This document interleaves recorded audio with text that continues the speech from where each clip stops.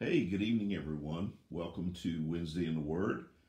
Uh, we trust that you are uh, having a blessed week, that you are uh, doing well, that you have been pursued by and embraced by the goodness of the Lord in the land of the living. Uh, we are going to have a uh, Thanksgiving service tonight. We welcome you. We're going to talk about being thankful. We're going to talk about that, the importance of it, and the meaning behind it. And um,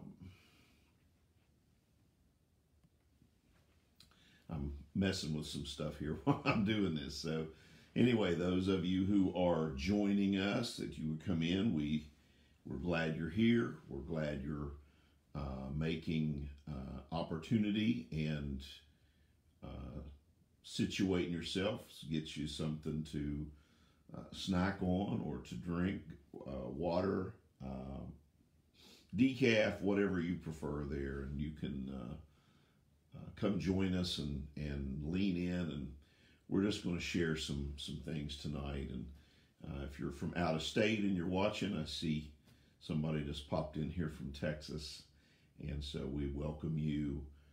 those of you who are uh, not part of our local family here in the in Ravenswood. We're grateful that you could join us tonight as well. So um, there's some things on my heart tonight. I, I want to say uh, that I appreciate so many of you who have stood with us in prayer for uh, Brother Larry Smith.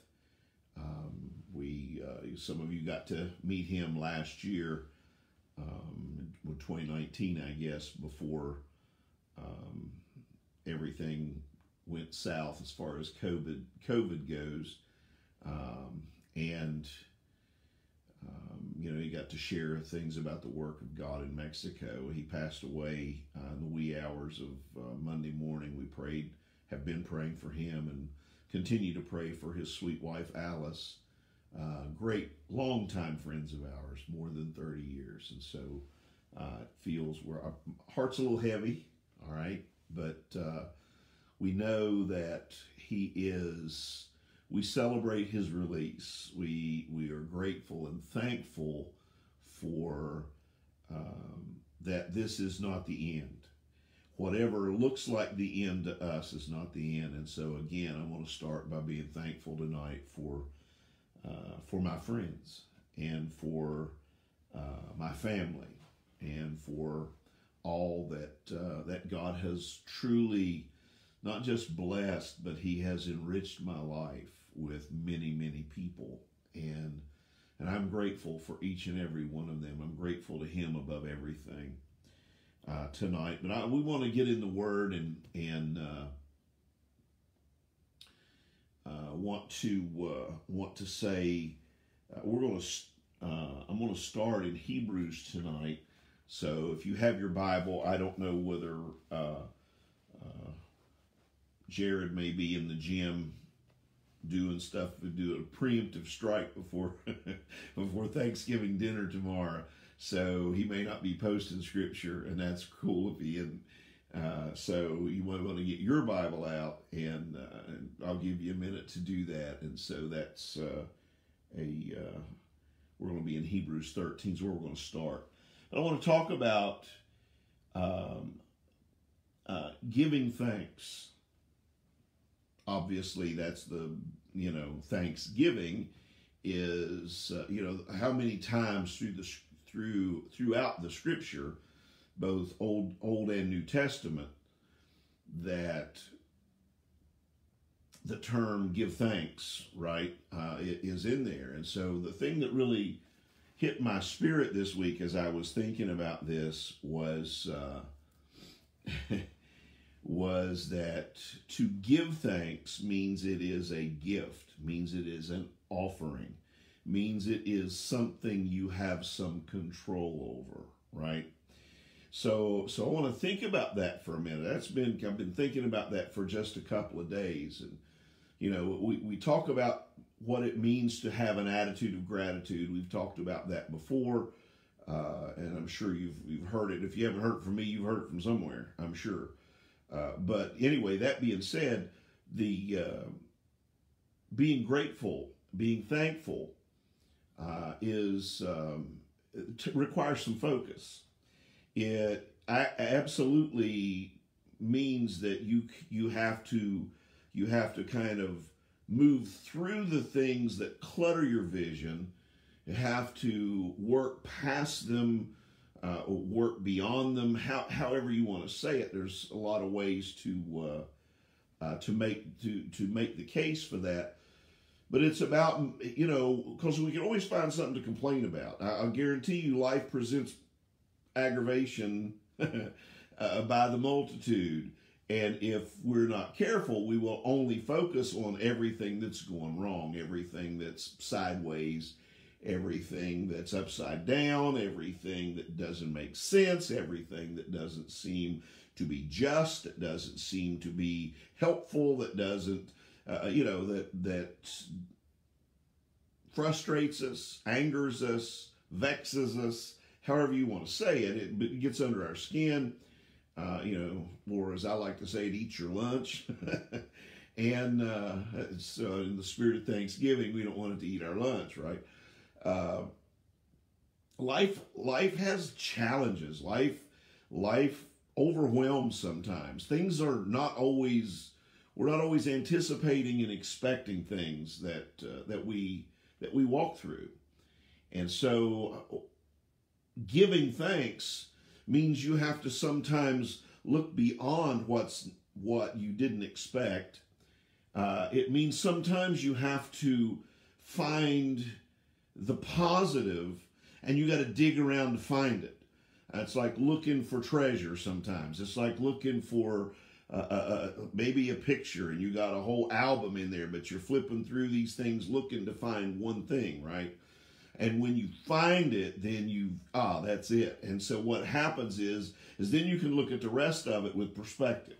Then you can then you can uh, you, you, regather your wits we'll say. You uh, you recalibrate. That's a term i like to use. Uh, worship does that for me. If i can if i can just get in the presence of the lord uh, he will lift up. As you know if your heart's heavy, if you if you've got things weighing on your mind, if you have challenges or questions that are unanswered, you need to you need to leave the questions, leave them at the altar and spend time in his presence and he will bring perspective. He'll at least bring rest to you so that you can trust him to work the answers out, right?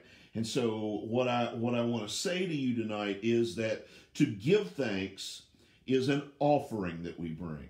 All right, it is it is a gift that we offer.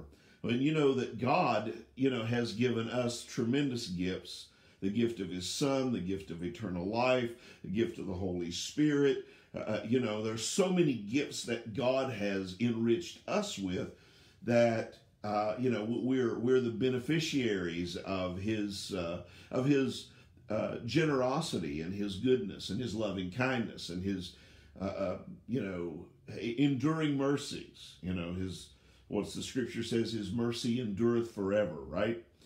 And so we need only to start to contemplate and think on things like this so that we can so that we can re, so that we can settle into what's what has meaning what has what is meaningful and and uh, has value, what uh, you know we would treasure or uh, look at and say, yeah, this this matters, and and it's not that some of those other things don't matter, but this matters more because it does something. It works something in me, right? It it reveals something, and so when we can uh, when we can um, get ourselves in the presence of the Lord and we can be thankful when it seems like you've got every reason not to be. When you have every opportunity to say, uh, uh, you know, I, I don't want to. Now, all the more reason to, all the more reason to find, dig through that I don't want to, dig through that all that stuff that frustrates, all that stuff that distracts, all that stuff that pulls us aside, and, and, and dig through that if you have to. Sometimes you got to roll up your sleeves and and and uh, and you know get your hands dirty a little bit, moving through some stuff. But when you find and you realize there's still something to be grateful for and to be thankful for, then you offer that to the Lord, right? Then you present that and you bring that and you say, Lord Father, I thank you for my friends, I thank you for my family. I thank you for uh, uh, you know my job, and you start to offer something, and so it becomes it's not just a a demand. It's something that you get to give. It's something that you take responsibility for. It's something that that uh, um, reveals the connection in your heart between your heart and between God's heart. That's what it means when you talk about giving thanks. It's a it's that free will offering. And so in that spirit tonight, I want to make a couple of uh, uh, statements here in a minute, but let's go ahead and look at uh, Hebrews 13 and 15. Uh, the writer says, By him, speaking of Christ, by him, therefore, let us offer the sacrifice of praise to God continually. That is the fruit of our lips, giving thanks unto his name. And so, this is one of our great privileges as believers, as those who uh, have experienced a, a saving experience, a, a new birth in the in the spirit that that we can offer a sacrifice of praise to God continually, that we can still praise Him even when uh, you know when the car won't start and you know and the power's out or whatever. You can still praise Him. You can still there's still things to be thankful for, right? And so you know there's some practical elements to all this, but but the sacrifice of praise you know, we covered a lot of this when I talked about and, and spent eight eight different Wednesday nights on the Tabernacle of David. And if you want to have a better understanding of the new covenant, if you, I, I would encourage you to go back through the archive, either on our YouTube channel uh, or in, on Facebook. You can go back through our videos that have been posted. They, they, as far as I know, they're there. If not, you can maybe find the link to YouTube, and, and if you will do that, like it and subscribe to it, doesn't cost you anything. It's uh, it's not uh, um, you know it's not anything like that, but it, you will get notified whenever we put new content up, and every time we uh, we video a message Sunday morning or this like this Wednesday like tonight every Wednesday night that goes on our YouTube channel as well. So you can go and access those things. You can go back retroactively and go back and go through those things. Uh, if you subscribe, you will have access to that. So uh, it's yeah, you know one of the things that God has has I believe dropped in my spirit to define who I am is that it's that God would have me be a resource for the body of Christ, and so uh, you know I'm uh, um, I'm going to give the time to it. I'm you know working on a on my third book, I, and, and, so I've got a footprint out there, whether it's by CDs or in the back in the day cassette tapes, CDs. Uh, now we're building quite a, video library, uh, and so uh, you know we, I'll encourage you to access those things. I'm not just I'm not just talking to hear my head roar. Okay, I'm not just trying to uh, just say some things. Just you know, I'm certainly not here to look pretty. That's for sure. but I but, but I've got some things that God has put on my heart to say and to uh, and to declare and to uh, and to communicate. And so uh, I encourage you to look at that. This this goes with that Tabernacle of David um, series, but this was one of the things we talked about in that, and I don't want to get back into that specifically tonight, but it's important to understand that, to understand, to have the, a right comprehension of the New Testament, of the New Covenant. And so, so we are called to offer a sacrifice of praise to God continually. That is the fruit of our lips, giving thanks unto his name. And so when you think about that, it, it reminds me of First Peter uh, 2 and 5, where he calls us li- lively stones, right? And says we're built up a spiritual house, a holy priesthood, uh, to offer up spiritual sacrifices acceptable unto God by Jesus Christ. So, what we offer needs to be something that is pleasant and pleasing to God. Now, what else can we offer except our praise and our gratefulness for His blessing, His mercy, His salvation, His Son, His His divine favor, His watch care, His provision, His uh, His uh, keeping power.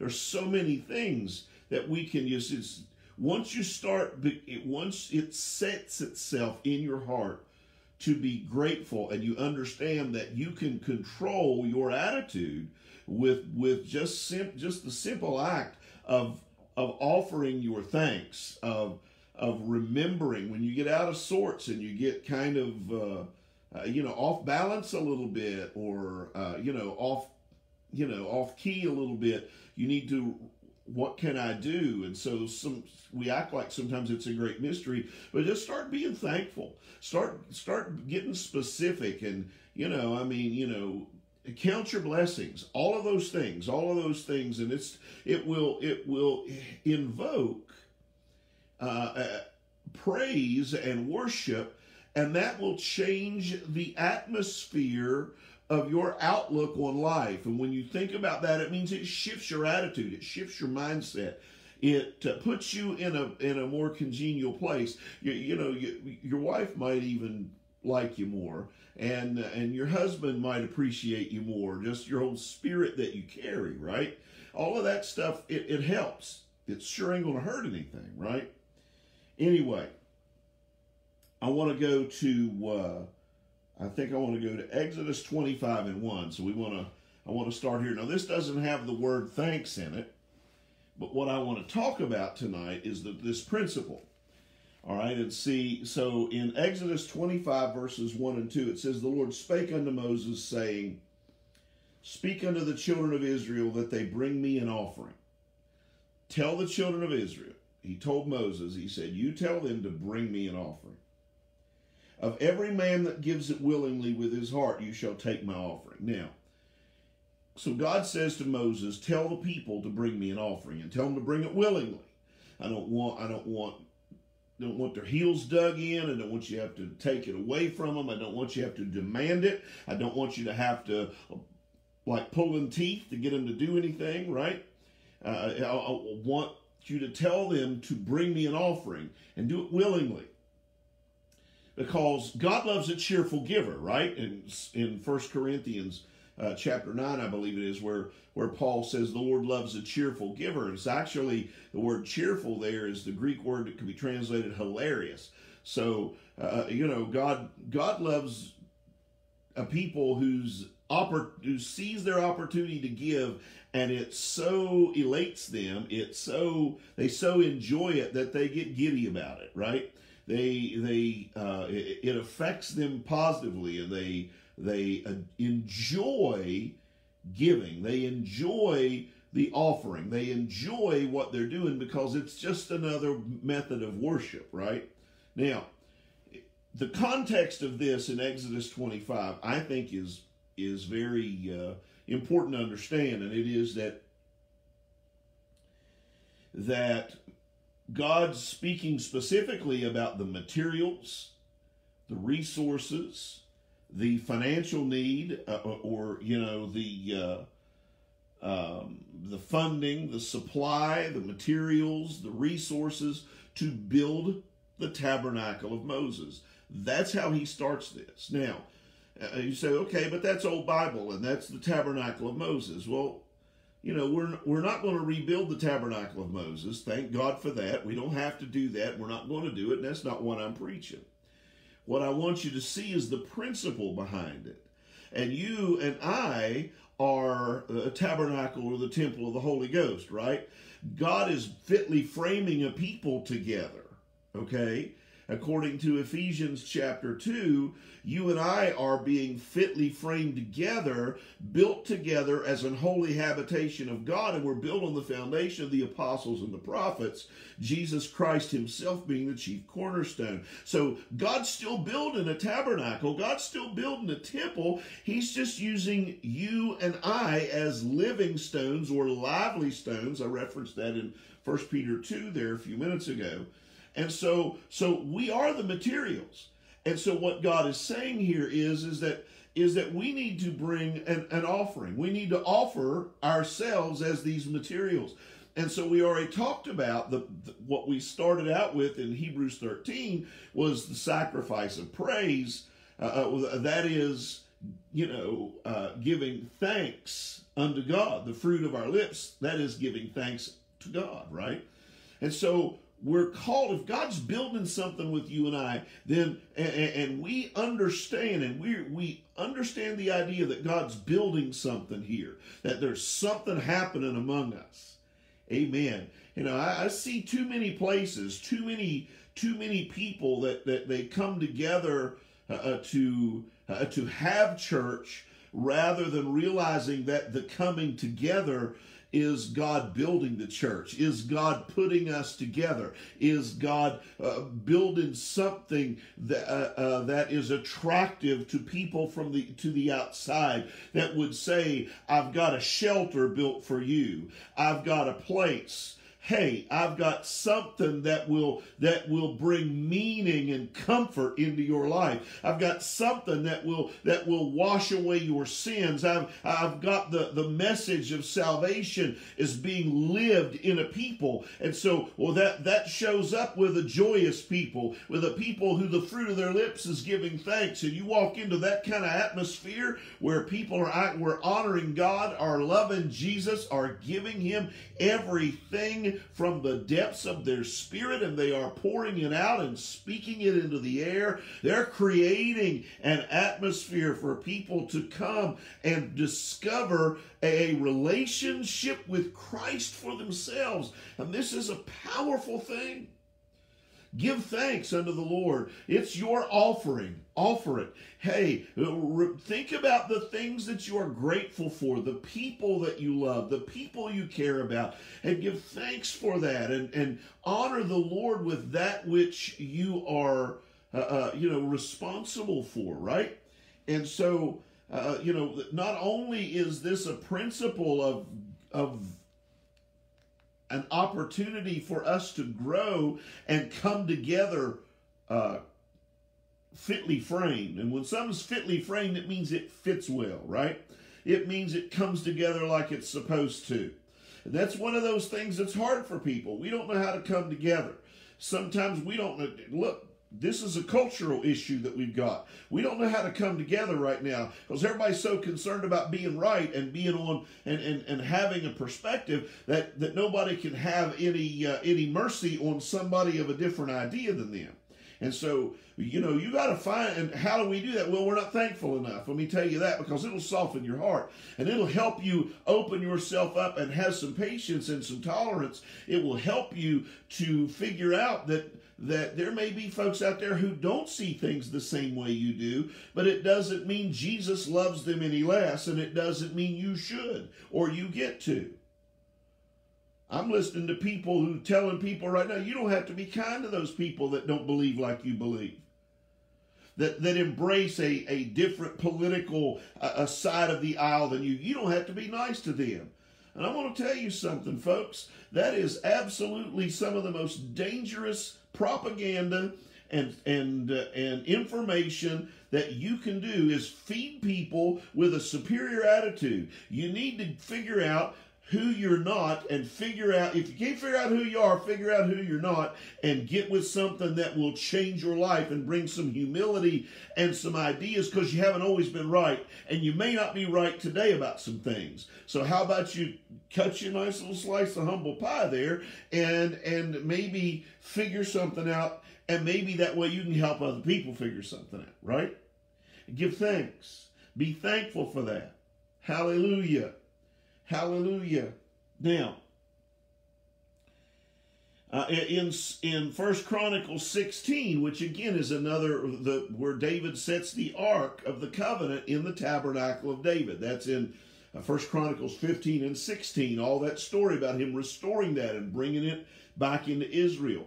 Uh, you know, one of the things uh, that it talks about is the the uh, the importance of giving thanks, the importance of worship, the importance of all that. All this connects with what God wants to build. If God's going to build, if we're here to build something redemptive in the earth, and I believe we are, then we need to learn how to do it. Some of the some of the tools that we use is is being thankful and being gracious and and being uh, and uh, understanding uh, what it means to worship and be in his presence and that that should help us be merciful and gracious unto other people and perhaps they can taste and see the goodness of the Lord in your life and my life so that they can find him and and feed on him themselves. So this is a this is a, a very very important thing.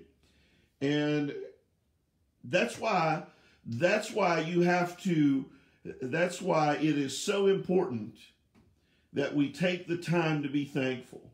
And maybe you're not going to have the Thanksgiving you thought you were going to get to have. And I'm not saying this because of government mandate, all right? Now, I'm not talking about that. Look, that's, uh, you know, I mean, I have issues with some of that stuff. So I'm just, I'll shoot straight with you. Uh, uh you know, there's some things that they control, but what happens in my house and who I allow and who I can have in my house, they don't they don't have any control over that. Okay, that's my house. And as long as I've paid my taxes and I've done all my stuff that they require me to do, they can stay out of my house. That's how I feel about that, okay?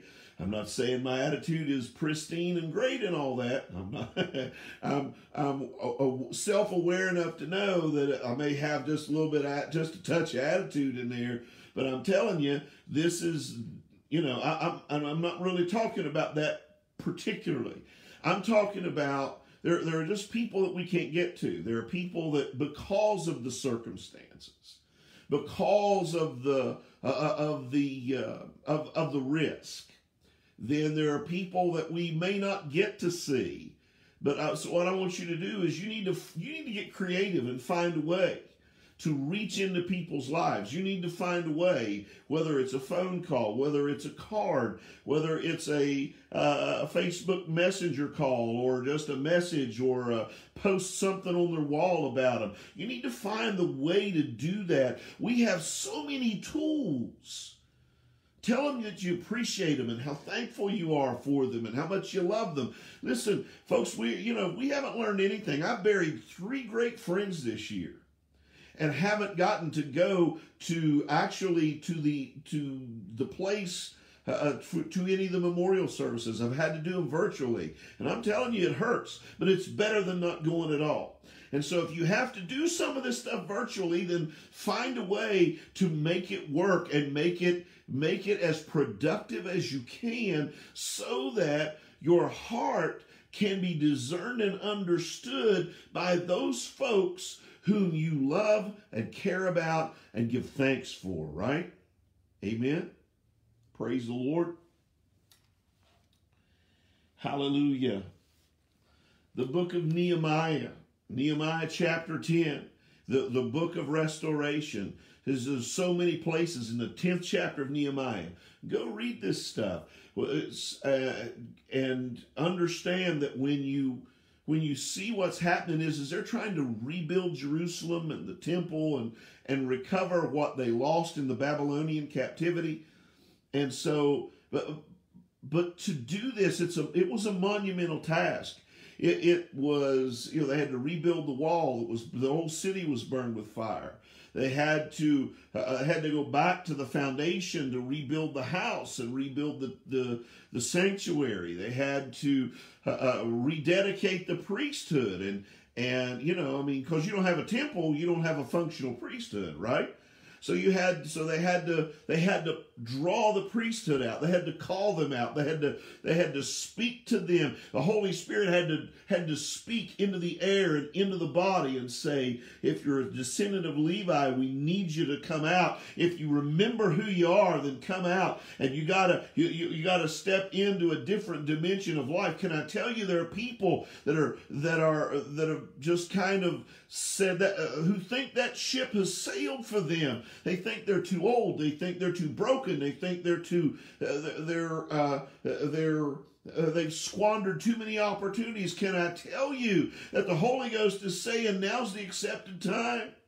Now is the day of salvation. Harden not your hearts if you hear it. If you can hear the Holy Spirit tonight, He's saying now, today, call it today step into a dimension, a relationship of life and grace, of peace and joy and righteousness in the kingdom of God, in the Holy Spirit. Step into that today so that you can, so that you can uh, uh live meaningfully in, in the years that you have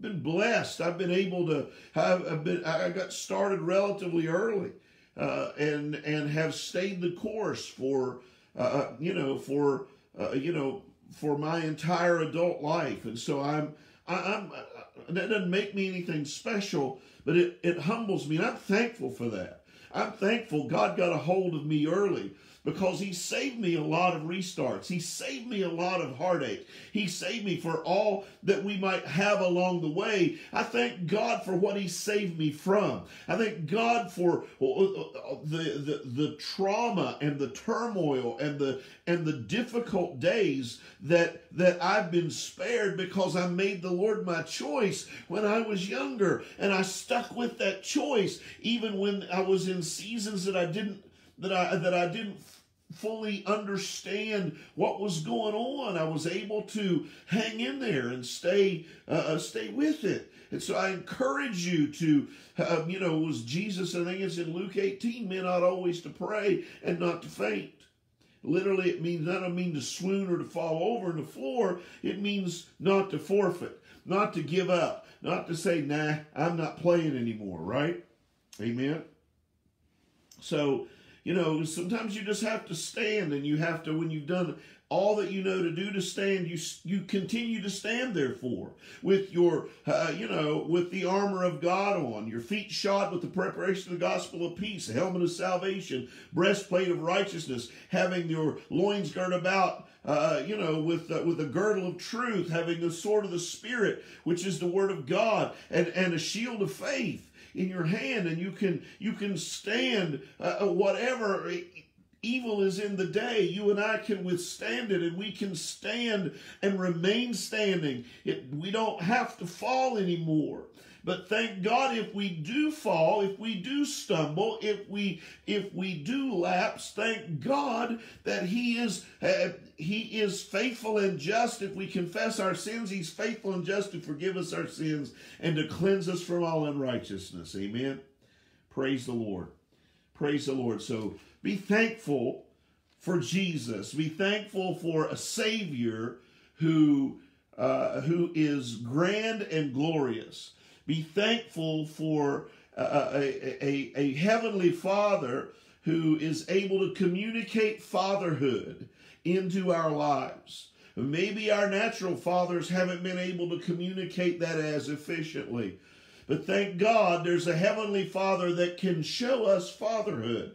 And when we start to see that, if we can emulate that, if we can, excuse me, if we can imitate that and we can follow after that which we see and understand to be uh, to be accurate and true in his life and in his in our relationship with him, then we have a fighting chance of affecting the generations after us. Amen. Praise the Lord. Praise the Lord. So the, the free will offering that we're talking about here, every time when God says, I want to build something, we need to bring an offering. Well, that offering that we bring is being thankful. That offering, oh, give thanks unto the Lord. We talked, that's where we started. And so that's where we are. That's as, okay, God's building something, so let's be thankful. Be thankful you're a part of it. Be thankful you're not uh, uh, you know, you you you get to bear witness. Be thankful that you know you may not be you may not be in the thick of it, but can you see it? If you can't, climb a tree like Zacchaeus. Climb a tree, get up where you where Jesus is coming in your in your town in your area that you find a vantage point that allows you to see him Hallelujah. And I guarantee you, when he makes eye contact with you, he says, Hey, I'm to come to your house. Uh, you, you, I want I want to I want to live with you. I want to dwell where you are. Glory to God. And so then you get to be thankful all over again, right? Because you made him a priority, right? You made him uh, you made the Lord's work and his and his ministry and his uh, uh his uh, life. You made it your priority, and so be thankful for that because it unlocks it unlocks the kingdom. But more than you know, we're sometimes I think we, we're looking to try to unlock stuff out there when what we really need to do is unlock the depths of our own hearts so he can flow through, right? And so then let the treasure, let the glory of God flow across the threshold of your temple and flow out to where it brings life wherever it goes. Hallelujah. Praise the Lord. So let's go to Psalm 92 and verse 1. Well, there's so many, so many Psalms. Excuse me. There's so many Psalms that have that talks about being thankful and giving thanks. We're going, to, we're going to go through a list of those here in a minute. Now, we're not going to turn and read them. I'm going to call them out. You can, uh, you, if you're taking notes or whatever, you can uh, you can write them down or or some of you probably know them, but I want to talk about some of this. But Psalm 92 and 1, and understand this is a psalm or a song for the Sabbath day. So, what I want to say to you is, is that Jesus came to establish the Sabbath day. You say, well, wait a minute. The Sabbath day was established when Moses gave the Ten Commandments. It was established in creation, right? God rested on the seventh day. God rested not because he was tired or exhausted from all that creating he did. He rested because everything he did was good and he took a moment to savor and just drink in all the goodness that he could see that he had wrought. And so the Sabbath day is a moment, it's a day, it's a season, it's an hour, it's a time for you and I where we just stop, not because we're exhausted from all that we've been doing, that might be part of it, but because we want to celebrate the good things that He's created in our life. We want to appreciate and honor and take in and and just with wonder in our gaze we want to just try to see everything good that God has done in our life. See, the Sabbath day is not a particular day of the week. This is where we get tangled up in this. We get tangled up in this because we, we debate whether it starts at 6 o'clock on Friday night and ends at 6 o'clock on Saturday, or whether it's the first day of the week on Sunday. And so we get in these little schisms and, and squabbles about stuff like that. I'm telling you that Christ is our Sabbath day. What Jesus did was he came and he merited our salvation, and you and I, by grace, now receive by faith what he worked so hard, the price he paid. And so this is our salvation is a Sabbath rest to us. And so this becomes, and you look at this, I think it's in Philippians, I think it's in Philippians or Colossians chapter 2. I have to look at that and see, but where he talks about let no man, uh, you know, um, spoil you through philosophy or vain deceit or in the or in the observance of new moons and and and Sabbath days and holy days and all that stuff. So so what he's saying to the Gentile churches is don't get caught up in this stuff because you know the, these things were a shadow, but Christ is the substance. We need to find these things in Him, and when we find these things in Him, then He sets the absolute meaning for all that they are, and He brings you and I to this this place where we can just rest in all that He's done.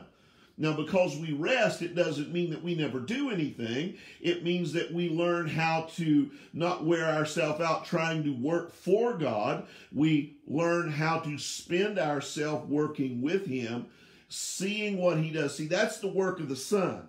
Jesus said, Those things that I see my Father do, that's what I do. Amen. And so we need to be we need to be people of insight and vision so that we can see what the Father would do and we can work with him. It saves us from wearing ourselves out trying to get something done and just or just the, the uh, mindset of trying to look busy so God doesn't think we're lax, right? Amen. A psalm for the song for the Sabbath day.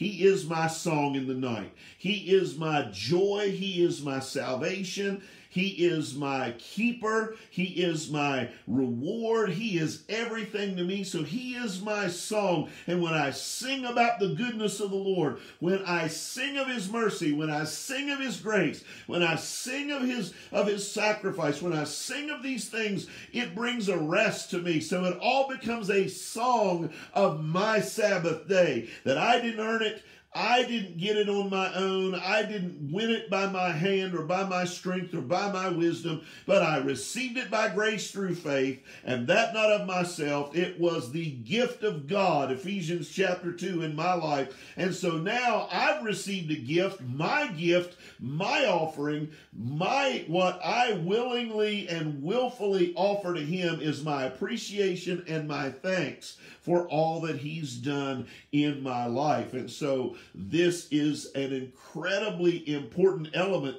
to to how we uh, how we are able to uh, you know maintain our composure uh, in in a world that seems to be unraveling around us.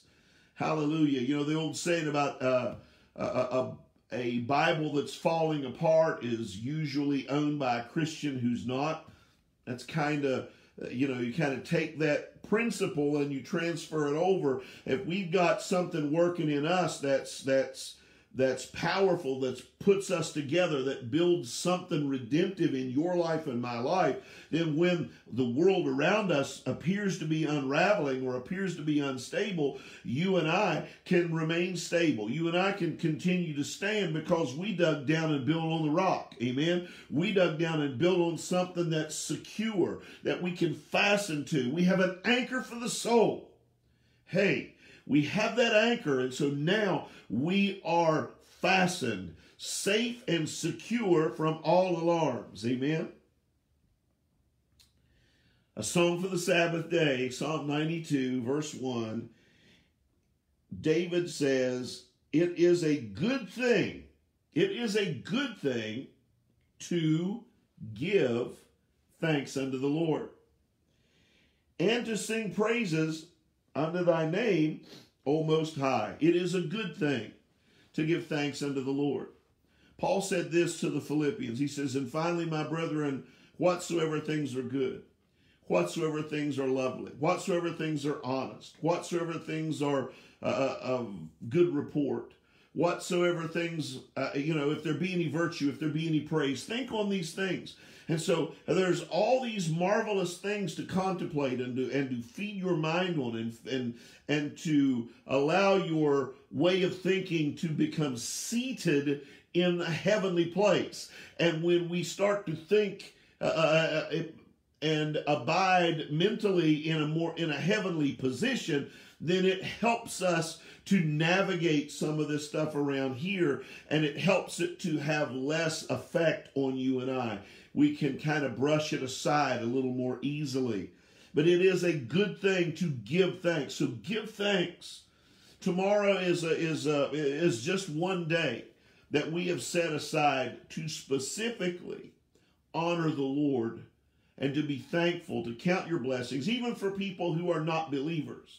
They will count their blessings. They will have something that they can appreciate and you know, I know for some people it's just about the meal or the football games on Sunday on Thursday afternoon or not having to go to work and and those are all great things in and of themselves, uh, you know. But uh, to not forget to honor the Lord in this day, to be thankful for the people and the things that God has put in our lives, that God has built into our lives, the purpose that He has birthed in us, the value. There's a sacredness to that that I want to underscore tonight, and it needs to be something that that we do not take for granted, that we that we do not overlook that is how wonderful this life can be when it has meaning and when at the root of that and the foundation of that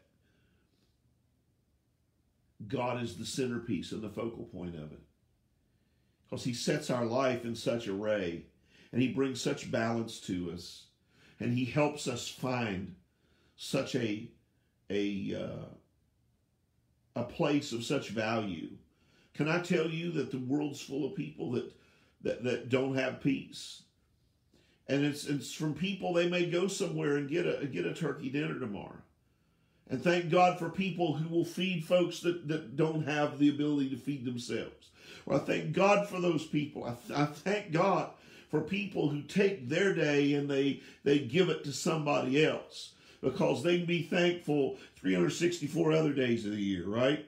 And they think they're thankful for an opportunity to help somebody who can't maybe can't and not able to help themselves in the moment. So so that's a marvelous thing. But there's people who would uh, who have no idea the dimension of peace and joy that can be theirs by a simple relationship with Jesus Christ. But by and through the saving grace of our Savior, we can have a we can live a life that's worth living and and have positive influence in uh, on other people and help them find a, a an abundant life, a great life, so much better than what they maybe have ever known before. And I'm thankful. I'm thankful for that.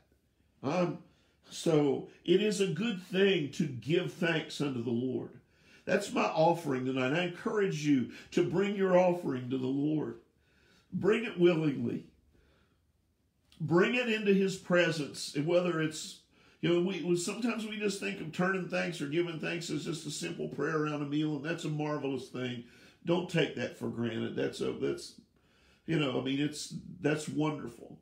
But giving thanks is more than just praying over your food. There's more to it than that. Being able to uh, to uh, to appreciate all that God has done, all that He has saved us from, not just in the future, but in the past. I believe the future too, but particularly the past. And so I want to say, don't forget to bring your offering. Don't forget, you know, you and, and if you're a believer, this is not just limited to tomorrow, right? This will this will this will have you in a right frame of mind and in a right spirit uh, all year long. As often as you do this, you will find a a better life. To be grateful, to be thankful, to speak acknowledgement unto the Lord for his goodness and his loving kindness, for his grace and his mercy, for his power and his embrace. It is a good thing to give thanks unto the Lord and to sing praises unto thy name, O Most High. Because I guarantee you, he's the song in your Sabbath day. And once you start thanking him, there'll be a song, a poem, a verse, something starts to rise up. Why? Because that river starts to flow.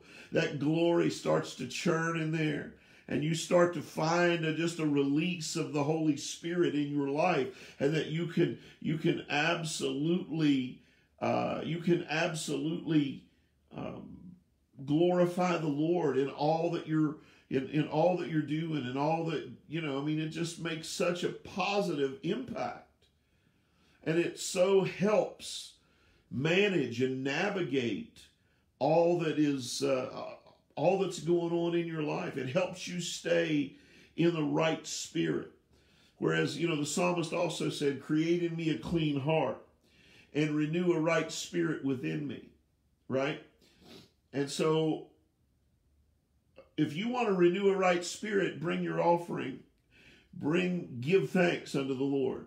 So bring that offering of being thankful, of being grateful, of appreciation and blessing. And bring that and start giving that. Start offering that to the Lord in your devotion, in your in just your uh, in your drive, in in your uh, in the quietness of your recliner, in the in just start thanking Him for the blessings in your life and for how He's helped you through and and and took care of you. We used to have this old saying that uh, used to travel around that the Lord takes care of fools and idiots, and and uh, and I'm I'm kind of living proof that that's there's a little bit of truth in that, because I've uh, I've been pretty idiotic at times, and I've certainly played the fool, certainly when I was much younger and and before Christ, and so. Uh, but I just want to say that you know there's a there's a marvelous marvelous opportunity uh, to uh, to live well today. Not just struggle and eat by and scratch your way through till you get to heaven. Thank God for going to heaven. Thank God for that. I'm not taking that away from anybody. But I'm telling you, if you can, if you can learn to unlock yourself in and and open your heart and give from your heart this gift of thanksgiving and this gift of being thankful and grateful to God for all his blessings in your life, then I'm telling you it will it will pay dividends. It will bless. It will enhance your spirit. You're going to find yourself maybe smiling at folk that typically you wouldn't smile at. And maybe they need it. Maybe they need a good smile from somebody, right? And maybe you're just the candidate to, to offer that. Amen. And I talked about there being some other psalms in here, so I'm gonna I'm gonna give you a phrase, and it's uh, "Oh, give thanks unto the Lord." Right? Oh, give thanks. It's just the simple O, not O H. And if you read the Old Testament, if you read in there a lot, you will see uh, "Hear, O Israel, the Lord our God is one." I think in in Deuteronomy. And so often it says, "Hear, O ye kings," you know, and, and that that word that uh, that O is in there a lot. And what what in some of the course of my study, I, I found out that uh, excuse me uh, that in rabbinical Judaism there is uh, that that O that single O carries redemptive, the, the acknowledgement of redemptive properties and character characteristics uh, and con- redemptive connotations. So anytime you see that, when you look at this, if you look at it from that perspective, oh, give thanks unto the Lord. The redemptive property of being thankful that God, that, that it unlocks, it just absolutely lets the reality and the recognition of His great redemption flowing into you, flowing through you, establishing itself in your life and my life. And we allow that to flow. Let it become the river that Jesus prophesied in John 7. You know, at the at, he stood up at the last day of the Feast of Tabernacles, and he said, he cried out, If any man thirst, let him come unto me and drink. He that believeth on me, as the scripture has said, out of his belly, out of his innermost being, out of his soul, out of his spirit shall flow rivers, rivers of living water. You got more than one river in you. Hallelujah. And it's a spiritual thing. It's alive. It's moving. It's living water. And that, if you start offering your thanks, it kind of unstops the flow. It unclutters the flow. Whatever might hinder the flow of that river, that just kind of moves it aside and lets the river, lets the current run swifter. And if the current runs swifter, it starts to it starts to channel even deeper into the earth. And so the, the beauty of, of what God is saying is he wants to run deep and wide and, and, wide open too for that matter, but he wants to run deep and wide in your life and my life. He wants, oh, give thanks unto the Lord. Hallelujah. Oh, give thanks unto the Lord. Let me let me just say this about that phrase. That phrase you will find in Psalm 105 and verse 1, 106 and verse 1, 107 and verse 1, 118 and verse 1, and also verse 29 of that same psalm. And then Psalm 136, it is in each of the first three verses and also in verse 26. So, oh, give thanks unto the Lord. The redemptive idea should stir the, the, the return of thankfulness out of our hearts unto the Lord, right? It should it should be one of the easiest gifts because he has been so active, he has been so uh, uh benevolent, he has blessed so richly, he has his mercies have been uh, uh so so prized and treasured that that it should being thankful ought to be not second nature it ought to be first nature to you and I. Hallelujah. And so I want to go to First Thessalonians chapter 5 tonight and I want to I want to close with this. Uh, 1 Thessalonians chapter 5 and verse 18 uh, I understand that Paul is writing this whole chapter. I need to give you some context for this as well. Uh, but verses 16 through 23, Paul is speaking of a people that, that have a uh, you know day of the Lord mindset or attitude. He says, "Is children of the light and children of the day." In in First Thessalonians five and five, uh, and so so we are children of the light. We are children of the day. And because of this, what day is that? The day of the Lord. We're, we're, we're the offspring of that day.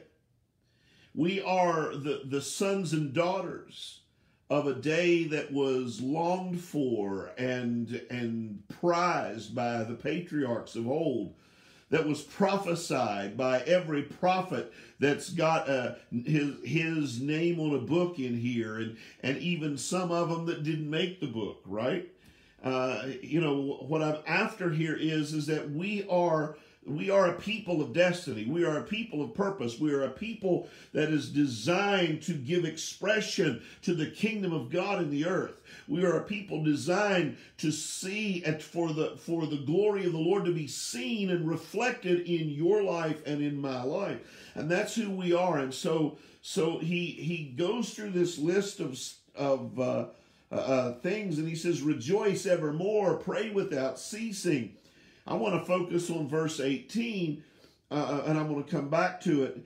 Uh, he says, In everything give thanks, for this is the will of God in Christ Jesus concerning you. Quench not the spirit, despise not prophesying, prove all things, hold fast that which is good. Abstain from all appearance of evil, and the very God of peace sanctify you wholly. That means completely or entirely. Uh, and I pray, God, your whole spirit, soul, and body be preserved blameless unto the coming or the nearness of the presence of our Lord Jesus Christ. All right? All of that's attributes of children of the day, children of light. This is, we need to live here. This is where we're called to live. This is his kingdom, and this is where we live. So rejoice evermore Pray without ceasing. I want to focus on this one tonight because Thanksgiving is this is this uh, moment where the whole world just stops and becomes mindful of how blessed we are. And so I, I, I certainly encourage that. I certainly applaud that. Uh, but he says, in everything give thanks. He doesn't say for everything, right? but he says in everything. So you and I need to have an attitude of gratitude and a grateful heart and spirit in everything, even if it's what we didn't choose, even if it's what we would rather have, you know, if we would have had our druthers, we'd have rather, uh, you know, something turned out differently than it did. Okay, you didn't get your druthers this time, so but be thankful. You still have something to be thankful for, right? You still can have an attitude and a right spirit. You can still you can still live the kingdom life. You can still do that. You can still be light and salt in the earth. You can still, you and I are still a city set on a hill. You and I are still salt to hopefully preserve things, to season lives, to uh, to make people thirsty. And also, one of the things that gets overlooked about salt is that it, if you take in the right amount, it allows your physical structure to appropriate electrolytes and liquids for the overall health of your muscles and the structure of your being. So that's an important element of salt that doesn't rarely gets mentioned. Uh, that's you know that's that's amen. That's important. All right. And so salt, let's help somebody. Salt their life so that when they drink from your fountain, when they drink from the fountain of the Lord, that it, it doesn't just pass through them and pass out, that it, it, it finds its way into the structure of their being and helps them not cramp, helps them not, not spasm, helps them find their feet and find the strength that they need to live in a manner that is pleasing unto the Lord. And so I want to I want to say it's how important all that is that you and I find our way to this to get this right. In everything, do what? Give thanks. Bring your offering. Bring it to the Lord. He's building something redemptive in the in the earth. It's called his house. It's called his church. It's called his dwelling place. And I'm not talking about uh, you know, uh, bricks and mortar. I'm not talking about a hewn stone or or, or uh, uh, cedar and, and, beams and, and timbers of uh, or shingles and concrete. I'm talking about you. I'm talking about me. I'm talking about what we have when we gather together, when we come as one in Him. Let us give thanks for this redemptive thing that God is building, and in everything give thanks. For this is the will of God. It's God's heart for you and I to be thankful, and He wants us to do it willingly. He told Moses, He said, You tell them to bring their offering and bring it willingly. I want them. And He says to you and I, the Lord loves a cheerful giver. So how about we, how about we, how about we smile real big? My dad used to say this thing. He's not just smiling, he's grinning out loud. And, uh, and so what, what I want you to, what I want you to think about is, is when you give thanks, beam with it. Let it shine. Let the glory of it uh, absolutely affect your countenance. Uh, find a way to uh, enjoy offering your thanks unto the Lord and giving Him because it blesses Him. And oh, saints, He's blessed us so. Hallelujah. He has been, He's such a blessing in our lives. Let's give thanks. Oh, give thanks. The Redeemer lives, and we are grateful for redemption. We're grateful for salvation. We're grateful for a Savior who is loving and kind and gracious and merciful and compassionate and, and long suffering toward us and, and, and simply receives that which we offer, but uh, where he doesn't have to, it's not like pulling teeth but it's where we we've we've matured and we've learned as sons that this is this is our responsibility to offer unto him. Hallelujah. Praise the Lord. In everything give thanks, for this is the will of God in Christ Jesus concerning you. We can look at things and we can find them detestable. We can find them discouraging. We can find them unappealing and distasteful. I mean, we can, and you can, there's a lot more adjectives and descriptive terms that you can throw in there. But I think I've made my point. Or in the midst of that, we can start to think about and feed on His blessing in our life what he means to us and how he has increased or appreciated the value of our life. Can I tell you my without Jesus I was getting I was going no place fast, right? All I was doing was just tromping around and and and and not getting anywhere, not accomplishing anything, not having any real focus, purpose. I was trying to trying to find my way in the world and I didn't know what way to go and how to go about it and all that stuff because it's you know, you're young and you're clueless. And then I found the way. And its name is Jesus. And then I found, discovered the truth. And it's not a list of things to believe in, it's a person, it's Jesus. When I found him as the way and I found him as the truth, I found life. I found him as my life. I found him as the life I wanted to live. I found him as something worth living. I found him as a way of life that was that was greater than anything I had ever thought possible for this old boy. Because I was pretty clueless and I was I, I you know, I mean I was I was going to try. I was going to do everything I knew how to do to try to live well and have a good life. But I found Jesus, and He showed me a good life, and I live well. I've, I, I, I'm blessed, and I appreciate it, and I'm grateful for that. So let me close with this. I said this earlier, but I'm gonna. It bears repeating, and so I want to repeat it.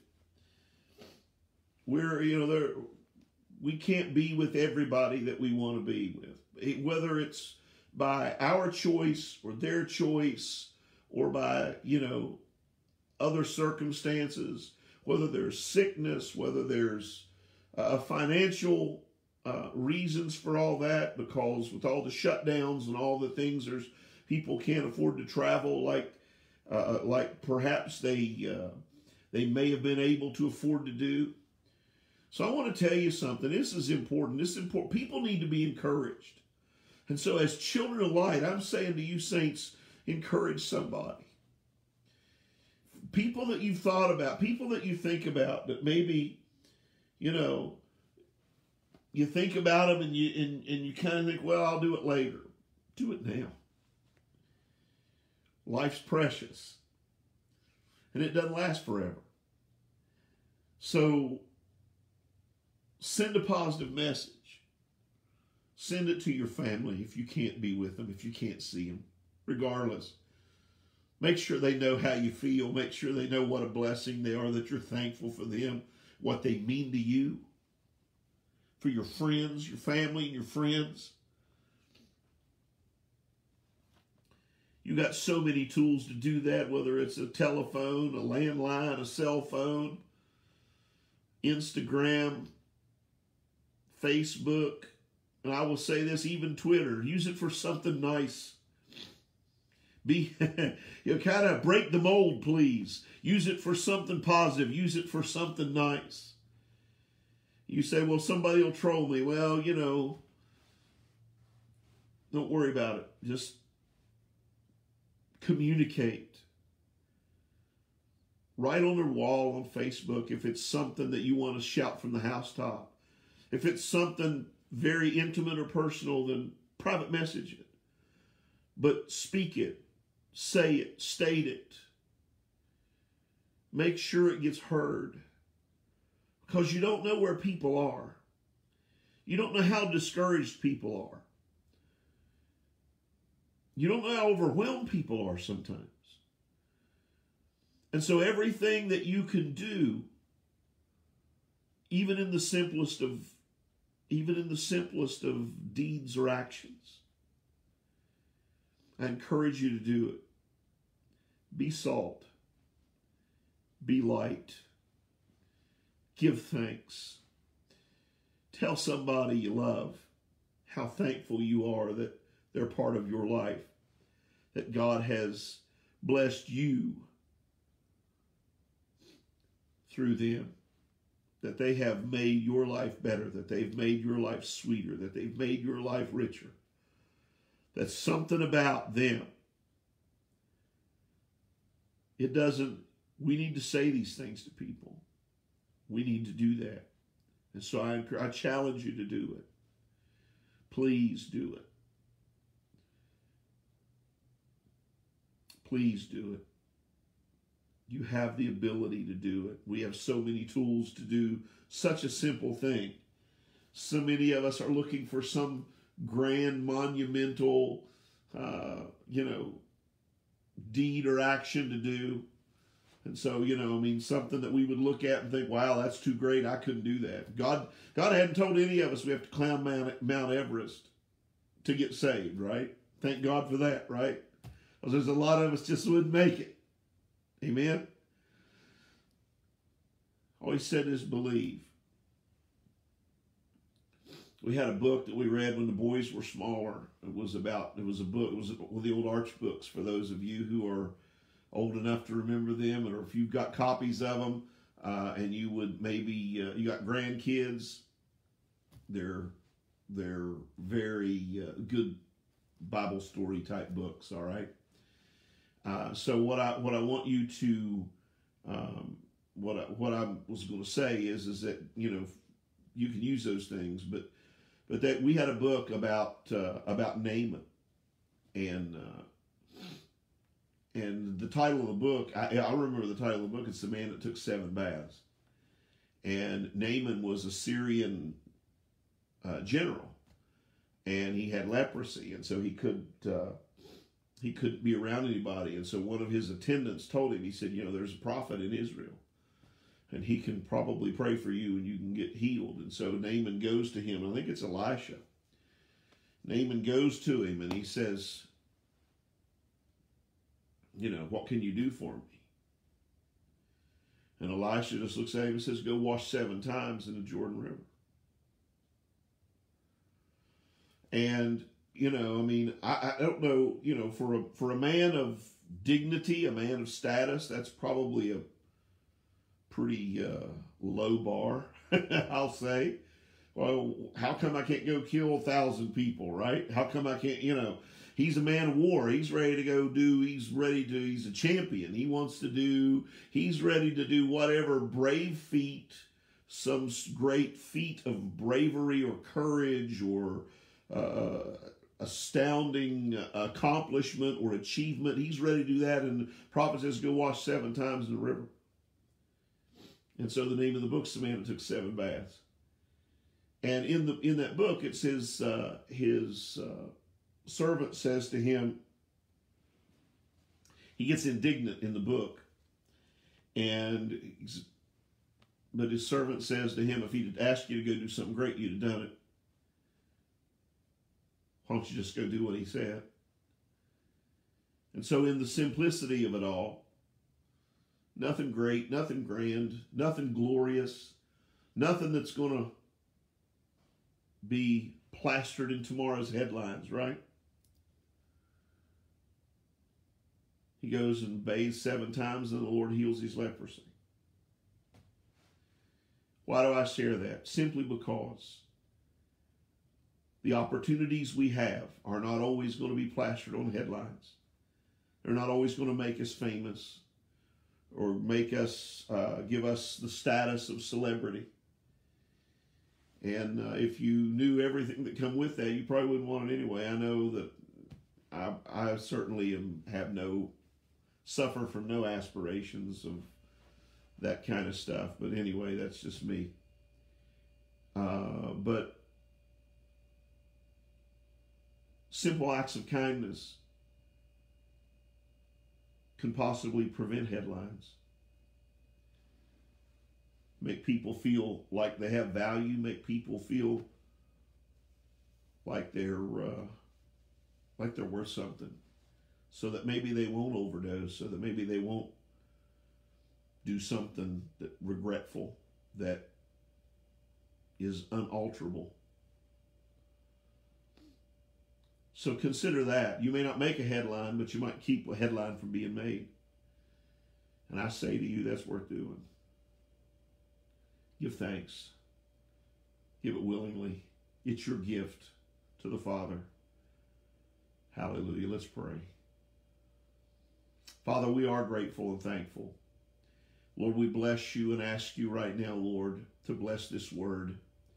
Father, I pray for you to encourage your people, everyone who has listened and and commented and liked, shared, whatever, Lord God. I just pray, Father, that you would that that you would just allow them to bring their gift and their offering to you tonight. And Father, that they would be faithful and diligent, Lord God, to and be mindful of the people, Father, that that have blessed their life and and that Lord they would be diligent to communicate that blessing and to uh, uh to uh, make that offering tonight as well to bless other people and to tell them what they mean and to give value and and and uh, uh, substance of the kingdom. Father, let it be transferred. Let it flow out of us unto someone else tonight. In Jesus' name, Father, I thank you. And I pray your blessing. I pray for safety over each and every household. Tonight, I pray for each and every family that gathers in whatever numbers and, and whatever capacity, uh, even if it's virtually or, or literally. Father, I pray, God, for your hand of protection, and I pray, Father, for, uh, for the treasure of your presence, Lord, to be palpable and real and recognized in every gathering and among every heart and in every heart. Thank you, Jesus, for all that you are and all that you built in our lives. In Jesus' name, we bless you. Amen. From our house to your house, from our heart to your heart, I pray and speak the blessing of the Lord for your table for your family, for your friends, for your fellowships. And I just say, we love you guys and we appreciate you. So no matter where you are, know that I'm thankful for you and I appreciate you. Had the pleasure this evening, it was raining this evening. I'm going to say this and I'm going to, I'm going to end the video stepped outside and what saw a huge rainbow tonight. And uh, right across, arched across the Ohio River, one end of it in West Virginia, and the other end of it in the, in Ohio. And I looked at that and I thought, God,